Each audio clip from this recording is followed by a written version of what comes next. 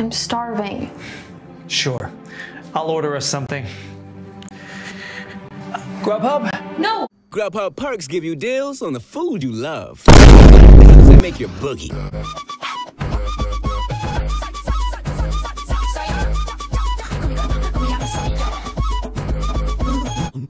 No, uh, let's do Postmates or Uber Eats.